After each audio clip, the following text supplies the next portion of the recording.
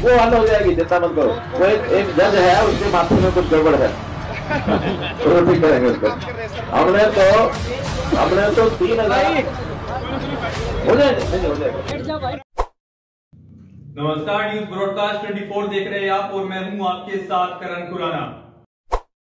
हरियाणा के मुख्यमंत्री मनोहर लाल खट्टर अक्सर अपने बयानों को लेकर सुर्खियों में रहते हैं। कई बार उनके बयान विवादों का कारण भी बन जाते हैं। और इन दिनों भी मुख्यमंत्री मनोहर लाल ने एक ऐसा विवादित बयान दे दिया है, जिसके बाद वो मुश्किलों में घिरते जा रहे हैं। दरअसल मुख्यमंत्री मनोहर लाल भिवानी में एक कार्यक्रम में पहुँचे थे। इस दौरान एक शख्स ने उनसे नौकरी को लेकर सवाल पूछ लिया। युवक ने पूछा कि आपकी सरकार ने जितनी नौकरी देने का वादा किया था, उतनी नौकरी आप कब देंगे? इसके जवाब में मुख्यमंत्री मनोहर लाल जो बयान देते हैं, वो बेहद ही शर्मसार और चौंकाने वाला होता है।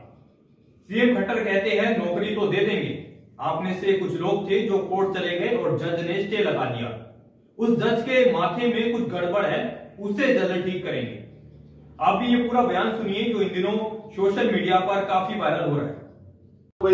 पापी के साथी हैं जो कोर्ट में जा खड़े हो जाते हैं। सरकार ने सर पढ़ना लिखाना सिखाए हैं इसी सरकार ने नौकरी दी है सर। हम्म। बस थोड़ी सी समस्या जो आ रही है। वो हल हो जाएगी चिंता मत करो। वो एक जज है उसके माथे में कुछ गड़बड़ है। तो ठीक करेंगे उसको हमने तो हमने तो तीन हज़ार हो जाएगा नहीं नहीं, हो जाएगा। अरे सुनो सुनो मैं सुन लेने दो। मुझे पता है सारा मामला। तीन हज़ार ज्वाइन हो गए ना? अरे तीन पाँच में से तीन हो गए ना? तीन हज़ार सतासी हो गए सर। हो गए ना? बाकी जो दो हज़ार बच्चे हैं वो भी कोर्ट का फैसला जल्दी करा लेंगे। चौबीस सौ बच्चे बचे। आई का आईटीआई आईटीआई के भी सत्रह अठारह ट्रेड थे। जिसमें से अब चार पाँच ट्रेड ही बचे, बाकी सारे हो गए। आईटीआई नहीं, बचे हुए हैं, लेकिन ट्रेड कितने थे आईटीआई के? नब्बे में से कितने ट्रेड के हो गए? हो गए ना? तो मैं भी तो वही कह रहा हूँ।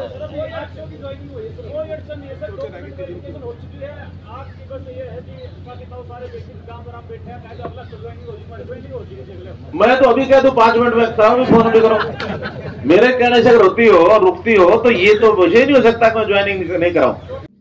तो सुना आपने किस तरह से हरियाणा के मुख्यमंत्री मनोहर लाल एक हाई कोर्ट के जज के लिए धमकी भरे शब्दों का इस्तेमाल कर रहे हैं? वही अपने इस बयान के बाद सीएम खट्टर विपक्ष के निशाने पर भी आ गए हैं। राज्यसभा सांसद और कांग्रेस महासचिव रणदीप सिंह सुरजेवाला ने सीएम खट्टर पर सवाल खड़े करते हुए कहा कि न्यायपालिका के बारे में उनकी भाषा सरकार के चाल चरित्र को दर्शाती है। सुरजेवाला ने सीएम खट्टर की डिग्री पर भी सवाल उठाते हुए कहा कि उन्होंने कौन सी ऐसी डिग्री ली है जो वो एक हाईकोर्ट के जज के माथे को भी ठीक करने की बात कर रहे हैं। बता दें, ये पहला मौका नहीं है जब सीएम खट्टर की तरफ़ से कोई ऐसा विवादित बयान दिया गया हो। इससे पहले सीएम खट्टर कश्मीर से हरियाणा के लिए बहु लाने के के बारे में भी जो है उन्होंने बयान दिया था, उसमें वो फंस गए थे। इस बयान के लिए दिल्ली महिला आयोग ने सीएम खट्टर को नोटिस तक भेज दिया था। फ़िलहाल के लिए इतना ही। ऐसे ही तमाम अपडेट्स के लिए देखते रहे न्यूज़ ब्रॉडकास्ट 24 नमस्कार।